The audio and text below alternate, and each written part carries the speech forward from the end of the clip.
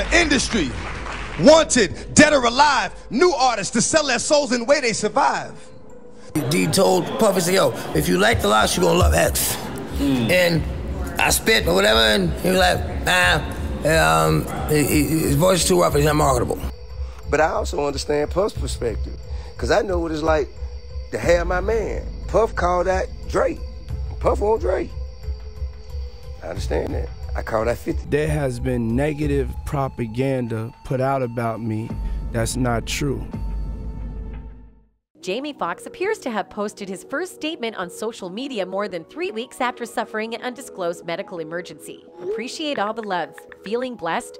The message reads Foxx's post came hours after a new report from TMZ on Wednesday claimed the beloved actor is still hospitalized as his loved ones ask for prayers. Since falling, a lot has been floated as a possible cause of his undisclosed ailment, with some eagle eyed fans now linking what rapper DMX might have said to Jamie's troubles. So, what did DMX say before he died, and how is it connected? Connected to Jamie Foxx's current situation? Stick around to find out. Listening to a DMX song from the late 90s is like riding a wrecking ball through a gated community. The music video for Stop Being Greedy, one of many confrontational highlights from the rapper's 1998 Def Jam debut, It's Dark and Hell is Hot, shows DMX hunting a wealthy white man across a mansion before eventually feeding the poor soul like a T-bone steak to his pet pit bull. The rapper's exhilarating, half-barked vocals gave the sense that he wanted to eat the rich. He always had the ballsy audacity to call and say things as they are, and that might have led to his death. Thousands of Jamie Foxx fans now have a reason to believe that part of what DMX fought for while alive is what Foxx tried doing before finding himself trapped in a hospital bed. When DMX was fighting for his life, one of the first people to wish him a quick recovery was Jamie Foxx.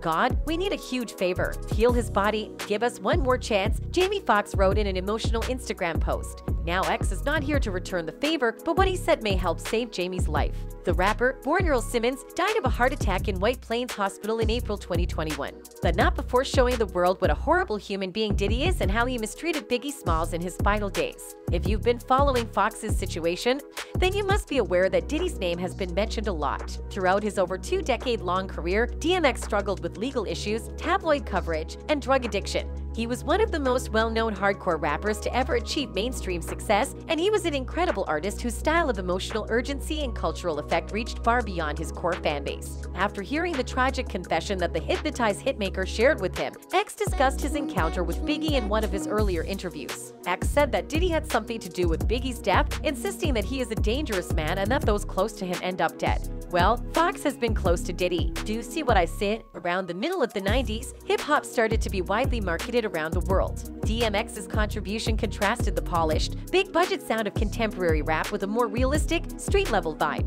Moreover, he established himself as an engaging movie star in films like Belly, Romeo Must Die, and Exit Wounds. He also unwittingly acted as a guide to commercial success for Jay-Z. However, DMX is currently most well known for his captivating music, which paired his robust machismo with an emotional authenticity that won over audiences everywhere. Apparently, Biggie told DMX about the time Puff Daddy sexually assaulted him. Jamie Foxx has been vocal about Diddy's wild parties that date back to the 90s. Back in an interview before Undisputed was released in 2012, the rapper reflected on his time as an unsigned artist, explaining how he came close to signing with Bad Boy but was ultimately passed over in favor of the LOX. It's no secret that the LOX was signed before I was. DMX said that they were the safer option. Puff signed them, and it was both a boon and a bane. They were overjoyed to get signed and appear on the Benjamins, but then Diddy made them jiggy and put them in suits and make them write lyrics for him and take their publishing and rape them.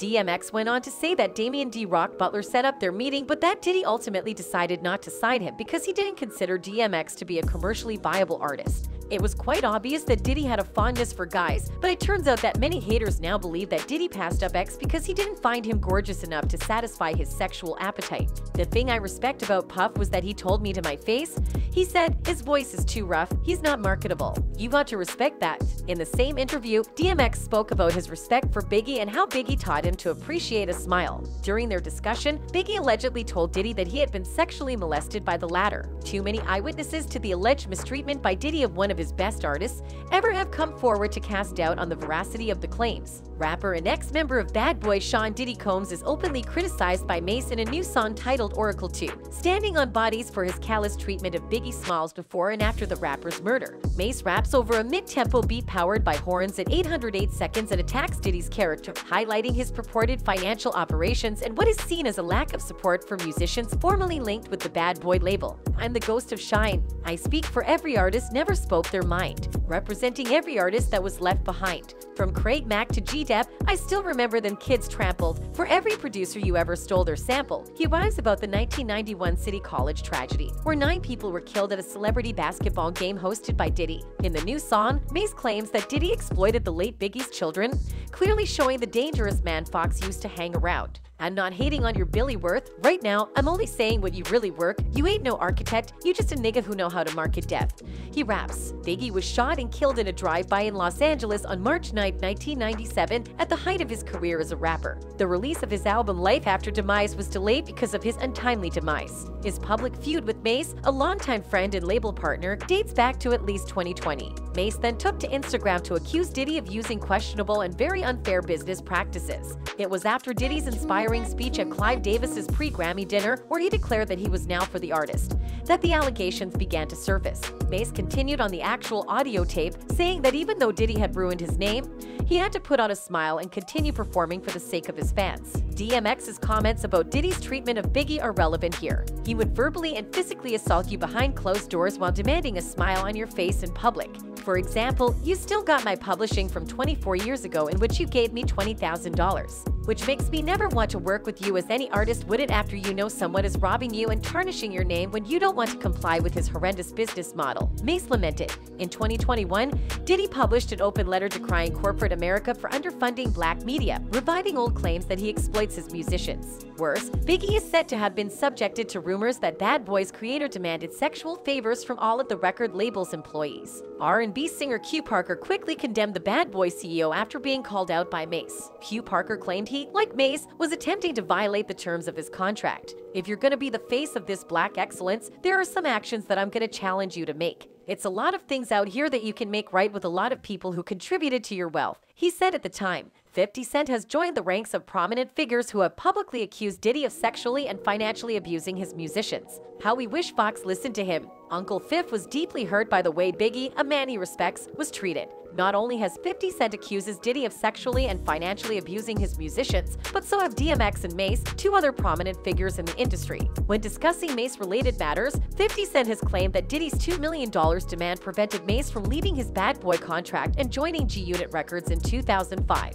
50 people have a $1 million spending cap. After Mase cut into an interview that Diddy was doing with Atlanta's V103 in 2009, the rapper was released from his contract for a year. When Mase handed Diddy his contract, he inked it in front of the cameras. After leaving the label for good in 2012, he is once again using public pressure to try to get his work published. I offered you 2 million in cash just a few days ago to sell me back my publishing.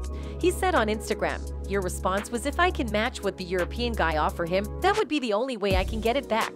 The rapper said, It's not just Mase who has second thoughts about his time at Bad Boy. The rapper Biggie was too young to realize that Diddy was using and manipulating him, according to his mother. In 1999, the LOX trio Jadakiss, Styles P, and Sheek Louud started the Free the LOX movement to break free from their contract with Bad Boy. The group felt that glossy pictures with plenty of showy clothing weren't representative of their brand, and that Diddy wanted tracks that would do well on the Billboard Top 40. They preferred to join the more rigorous Ruff Ryders label, which is based in DMX's hometown of Yonkers.